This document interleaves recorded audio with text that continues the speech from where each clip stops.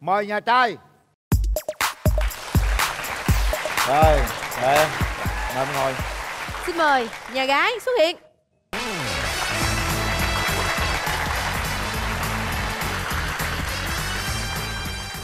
em giới thiệu về mình đi em Dạ, xin uh, chào anh uh, Quyền Linh, chị Nam Thư và bạn bên kia và chào toàn thể quý vị khán giả. Rồi, em tên em. là Nguyễn Duy Thông. Em uh, năm nay 34 tuổi, em đến từ Quảng Ngãi. em ơi em nói là à, bên đàn trai nói lại tên được không nè Em uh, cái cái cái tên hồi nhỏ trong giấy là tên là Nguyễn Duy Thoan nhưng mà em khi em đi ra làm á là thường thường á là cứ bạn bè cứ nó cái cái, cái tên nó khó nghe nó cứ cái tinh thông tinh thông lên là cách là hai mươi mấy năm là cứ lấy tinh thông luôn tới giờ vậy.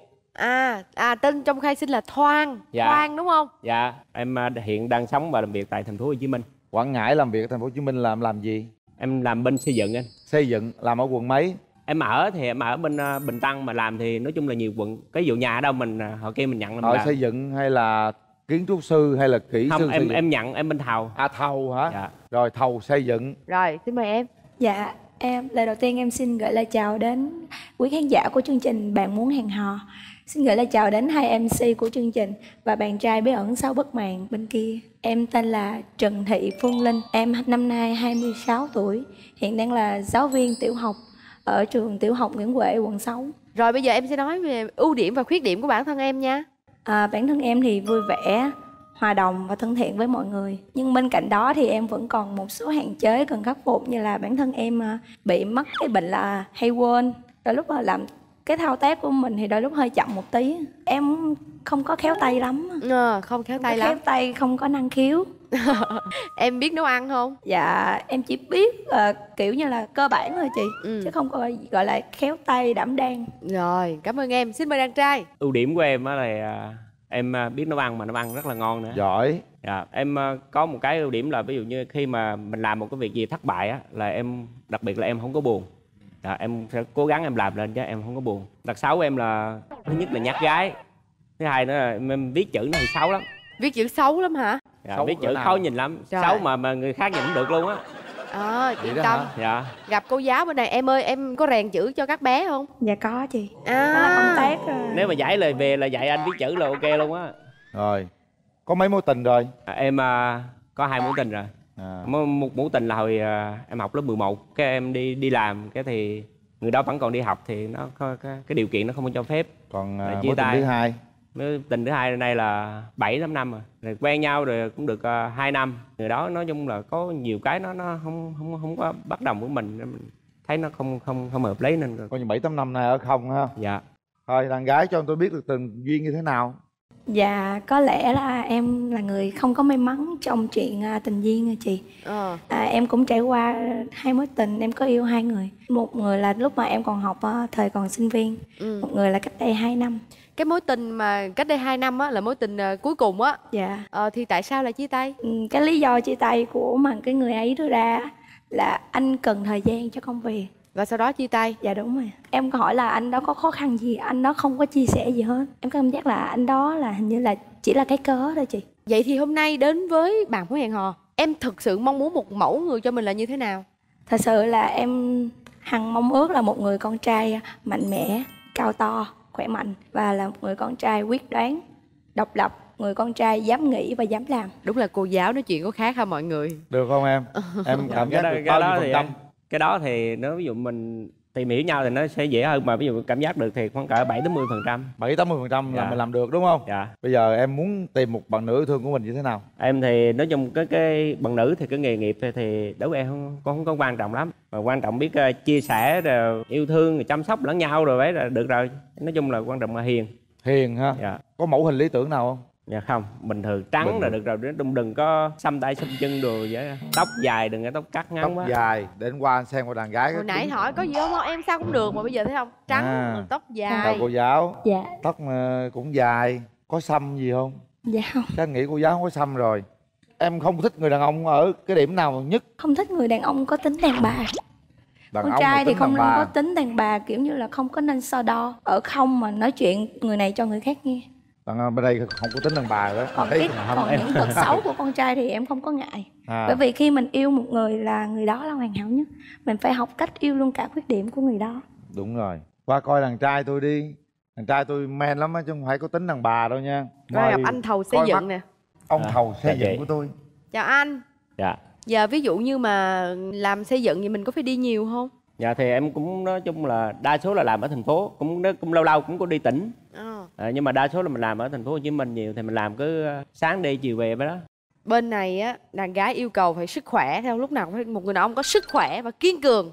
Sao thấy sức khỏe mình ổn không? Có chơi thể thao gì không anh? không em thì không có chơi thể thao nhưng mà nói chung nhậu thì ít mà không uống thuốc nữa nên là sức khỏe là chắc em nghĩ có À, Cái, ít nhậu à, à. cái tướng ông thầu này á là rất là xề xòa Dễ thương có- ngồi kìa, ờ, con thương, ngồi rất kìa. là thoải mái không Thoải mái. cho dù đi kiếm vợ ngồi xuống giờ vợ thì cũng ngồi vậy luôn vậy đó Ừ. tức là tính xề xòa thoải mái vậy đó chứ ta vô ta gồng ta ngồi ta giữ dáng này kia ha không ngồi thả tè đè luôn cho thấy được rằng con người á gọi là rất là chân thật có sao để vậy luôn Rồi, quá được rồi anh Linh ơi. bây giờ Thôi. mình hỏi ý kiến người thân đi Đúng rồi. Linh, hôm nay em tới tham gia chương trình em đi với ai? Dạ, hôm nay em đến chương trình em có đi cùng với mẹ, em gái và bạn và dì. À, dạ, xin chào người thân của Linh ạ. Hôm nay tôi đến chương trình Bạn hẹn hò. Xin chào quý khán giả có trong trường quay. Chào hai MC, chào Dạ. bạn trai. Tôi là mẹ của Linh. Linh là người hiền, ít nói, ít có um, đi đi đây đó lắm. Đi làm về thì ở nhà. Mẹ thấy bạn trai bên đây cũng điềm tĩnh.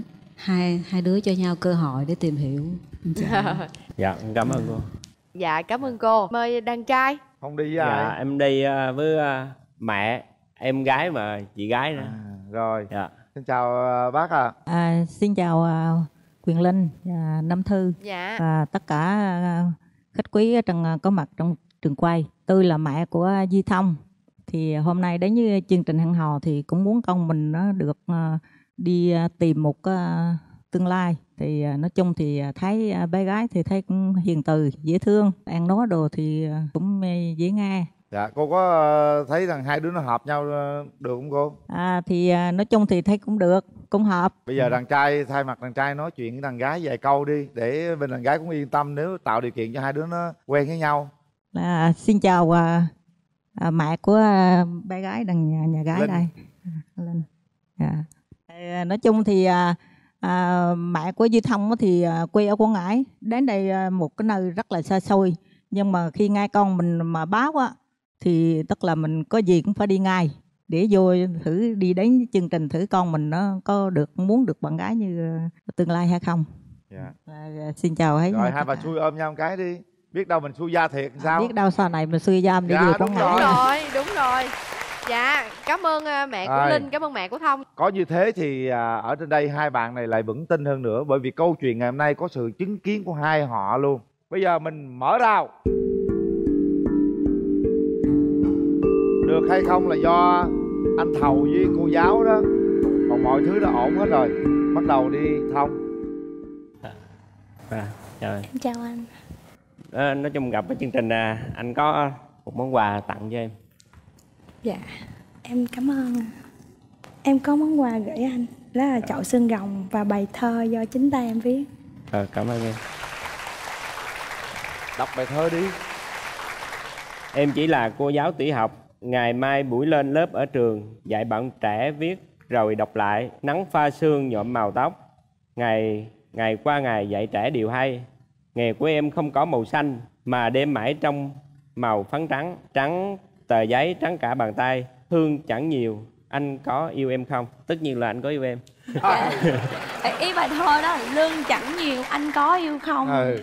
trời ơi đẹp nó viết chữ đẹp dễ xạo luôn mà mọi người còn em có có chữ nào em thử em viết vô đây vài chữ anh coi coi Em có viết viết thẳng bức Có thư luôn hả? này Nhưng mà đọc không ai đọc được đâu Chỉ có một mình em viết em đọc được à Em viết không ai đọc được luôn gửi vợ trương chi không phải đâu tương lai trời ơi à, Em đọc cho chữ nào không thấy chị luôn á. Đâu em coi coi, thử, Hai dòng em, em xác minh thử nha. chữ xấu cỡ nào. để em đọc luôn à, chị, Gửi vợ, thôi anh đọc đi anh. em viết có mấy tự mà ít đi. à. À, gửi vợ tương lai của anh. Nói chung là để có ngày hôm nay là cũng nhờ chương trình. À, anh đã chờ ngày lắm rồi. Trong lòng anh rất à, bồi hồi lo lắng. Em à, hãy cùng anh à, mà mình cho nhau cơ hội mà không đọc không nổi luôn. Thành ra ông đọc thêm á. Lần, rồi. lần đầu khi gặp em là tình tôi ta Tan vỡ hả? Tan vỡ hả? ai nói tăng vỡ cái chữ rồi tăng vỡ Sẽ đọc chữ tờ đó. Tình chớm tôi- nở Ừ, chớm nở. à, xin em đừng hờ hững để tình đẹp như mơ cha mượn em mượn bức thư thôi cô hai giáo cái so nhau để làm kỷ niệm thôi Vậy để em đọc lại cho chị ờ để Rồi. cô giáo đọc đi cô chấm là nhiêu điểm cô bây giờ cái chữ này về còn gò được nữa không cô giáo Dạ, mọi việc đều có thể thành công được nếu con người ta có nhẫn nại và cần có thời gian. Đúng rồi cái chữ nó không quan trọng. Quan trọng là người ta làm thành công hay không thôi. Sao có thể viết chữ đẹp tới mức độ như vậy? Viết Ừ. như in vậy đó mọi người viết như cặp kịch in vô đó. Mời cô giáo. Dạ, cái bài thơ này là em ờ, sưu tầm ở trên mạng và em viết tay. Em chỉ là cô giáo tiểu học Ngày hai buổi lên lớp ở trường. Dạy bọn trẻ viết rồi lại đọc. Nghề của em rất đổi bình thường. Em chỉ là cô giáo tiểu học Bàn tay em bụi phấn bám đầy Nắng pha sương nhuốm màu tóc Ngày qua ngày dạy trẻ điều hay Nghề của em không có màu xanh Mà đem mãi trong mình màu phấn trắng Trắng tờ giấy, trắng cả hai bàn tay Lương chẳng nhiều, anh có yêu không?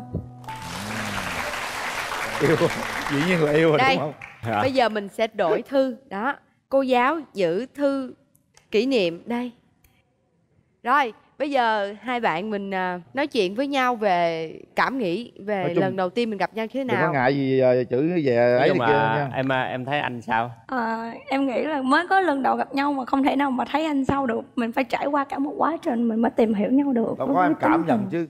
Bởi vì trong cuộc đời á là ảnh ba mấy tuổi mới gặp em đó. Thật ra cái cảm giác mình gặp một người lạ thế nào Dạ cảm giác thì lúc đầu ở trong ờ, trong thời gian chờ đợi gặp người bí ẩn thì rất là hồi hộp. Anh, Em cảm thấy anh hiền, cao, ráo, khỏe mạnh. Mình à, cao một mét bảy Dạ, thật thà. sáu mươi bốn kg rồi anh thầu xây dựng anh nhìn cô giáo thấy sao? Nói chung là nhìn thì thấy cũng dễ thương. Còn ví dụ như mà mong cho mình có để à, tìm hiểu cái cơ hội mà cho cơ hội nhau để tìm hiểu rồi ví dụ như nếu mà được thì cuối năm hoặc qua năm là có thể là cưới là là ok thôi giờ mẹ mới vô bóng hối cưới rồi. Bây giờ mình tính hẹn hò sao đó hỏi coi em thích gì đó hỏi đi. Thì à, sở sở thích của em là cái gì? Dạ em thích ờ, đọc sách, xem phim, đi du lịch à. có một cái có một cái giống mình là đi du lịch. Còn đọc sách là làm biến lắm tại à, không có không có thời gian. Vậy thì đi làm suốt. em sẽ đọc cho anh nghe. À, cái đó cũng được ví dụ như rảnh thì em đọc cho anh nghe cái đó dễ nữa. Dạ. Mỗi lần giận lên á thì ai sẽ là người xin lỗi? Ai sẽ là người xuống nước cái đó cũng cũng tùy công việc nữa tùy việc nữa. Ví dụ như rõ ràng mà ví dụ như vợ mình sai mà biểu mình xuống nước thì cái đó nó cũng không đúng. Ví dụ những cái việc gì mà nhiều nó nó không đáng gì hết á thì có thể mình mình xuống nước cũng được không sao hết. Dạ là khi mà nghe nhau thì em với bản thân em thì em không có quan trọng là ai thắng hay thua. Bởi vì mình có hơn một lời nói thì cũng không được gì hết. Im lặng vẫn được, em vẫn chấp nhận được. Nhưng với em là người xin lỗi không phải là người thua. Người xin lỗi là người đã thắng hơn Thắng về tình cảm. Nếu đã là vợ chồng thì mình không cần phải thắng thua. Bây giờ à, em hát một à, bài đó tặng cô giáo đi. Hát được nhưng mà em, em hát à, một đoạn thôi. Rồi một đoạn thôi. lại đứng đứng Dạ gần anh đứng, hát em nghe đi anh. Đứng đứng lên hát gần gần cho nó giao lưu chút xíu. Vì sao anh nhớ em thế này? Thương nhớ đông đầy trong lòng mặc. Buổi chiều còn gặp nhau đây Mà đêm đã nhớ như vậy Em hỡi em có hiểu có hay. Trời Hát bao nhiêu ta hát hay như anh đang nguyên gì đó. Trời ơi. Đang hát không. mà tưởng đi là uống lộn không? Vì sao em nhớ anh thế này? Trời ơi, tưởng tới kiếm chuyện không mà luôn á. Ừ, Hát mà tim rung luôn. Ừ. xẻ tay ra nắm tay bạn gái lên hát bây giờ tình cảm không hát đi bài khác nhẹ nữa nhàng Thôi đứng nói chuyện được rồi, rồi. đứng nói chuyện thôi coi nắm Ờ. tay cổ coi Nói chung là mà nhìn cô ấy nói. mong muốn là cho cơ hội để hai đứa được tìm hiểu với nhau. Anh mong muốn như thôi rửa thôi. Em nhìn cô giáo anh hơi nhát gái yên tâm nha. Ở đây mọi người sẽ ủng hộ em. Dạ. Rồi nhìn cô giáo đi nói gì nói đi. Nói một câu Em cuối cùng trước khi bấm nút này? Anh nói tiếng nữa là tim em rớt. Để tay vào nút bấm đi các bạn. Một thủ tục hết sức là quen thuộc ở bạn muốn hẹn hò là hãy hỏi lại trái tim mình mình có thực sự rung động hay không? Nếu rung động thì các bạn hãy bấm nút. Còn nếu không thì chẳng sao cả. Để dành cơ hội đó lại cho quý vị khán giả các bạn đang xem truyền hình nha. Sẵn sàng. Ba hai một. Hết thời gian. Ô, rồi nắm tay nhau. Trời ơi. Họ gặp từ bao giờ ẻn lẻn chứ dữ lắm à. Giữ lấy bài thơ này những chiếc vé xem phim của cụm rạp Cinebox 212 lý chiến thắng gửi tặng các bạn. Đến đó để xem phim và yêu nhau nhiều hơn nha. Dạ. Chưa hung lần nào. Rồi bây giờ hung chưa? Cho anh đó nhẹ nhàng dễ thương